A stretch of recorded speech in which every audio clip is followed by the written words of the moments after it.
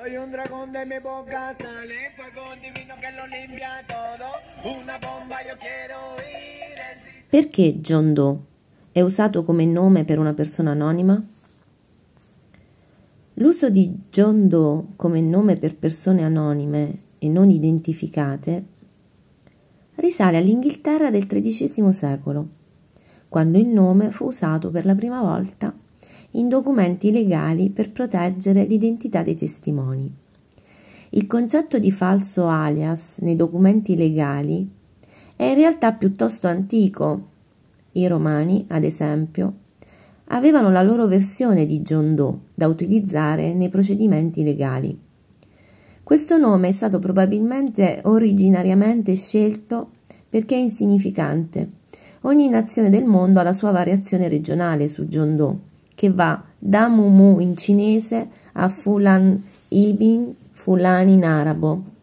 Ci sono una serie di ragioni per usare gli alias. Nel primo caso, John Doe, io non mi sono inventata niente quindi. Scusatemi, eh, ma vado avanti a profili fake da vent'anni quasi. Nel primo caso, John Doe è usato per qualcuno che non può essere identificato, come una vittima di un omicidio o un testimone di un crimine che non si è fatto avanti. Generalmente le informazioni... Generalmente le informazioni identificative sulla persona verranno rilasciate nella speranza, eccola, che qualcuno possa identificarlo, consentendo alle forze dell'ordine di abbandonare il Doe e utilizzare il vero nome della persona. L'uso di un nome mediocre consente alle persone di concentrarsi sulle caratteristiche identificative effettive della vittima, mentre un alias, come Jacob McNamara, potrebbe confondere e potenzialmente distrarre. Questo alias viene utilizzato anche in procedimenti legali mm, per proteggere qualcuno che non vuole essere identificato. Mm. Tali alias sono spesso utilizzati nei processi penali in cui qualcuno è preoccupato per le rappresaglie, ad esempio, ed i membri delle giurie sono talvolta indicati come John Doe's nelle discussioni sui processi penali in modo che non possano essere identificati e sottoposti a pressioni. Questo nome viene utilizzato anche quando il nome di qualcuno non è rilevante per un caso. I giornali usano anche John Doe per descrivere persone che non possono essere identificate legalmente, come le vittime di, stu di stupro. Le persone usano anche John Doe come segnaposto per riferirsi a qualcuno che in realtà non esiste, tipo l'angioletto.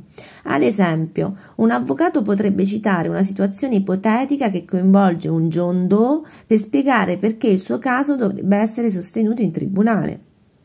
Mm. O per rafforzare un argomento agli occhi di una giuria, capito che fanno gli avvocati. Qualcuno potrebbe anche dire che un film potrebbe piacere a un Doe, nel senso che soddisferebbe i gusti di una persona normale o media. La controparte di John è Jane, una donna o una giovane donna non identificata. Doe è un neonato o una persona non identificata molto giovane e i nomi Roe, Smith, Jones e Noax, Noakes sono talvolta usati insieme a nomi come John, Joe e Jane per mescolare un po' le cose. Alcune persone an- usano anche l'alias John Citizen o Joe Blow per descrivere un individuo medio o ordinario. La retorica politica spesso presenta un mitico John Citizen, per esempio. Niente, tutto questo perché mi hanno bloccato un profilo fake e voglio provare a vedere se gli do il, documento di John Doe perché voglio mantenere la privacy.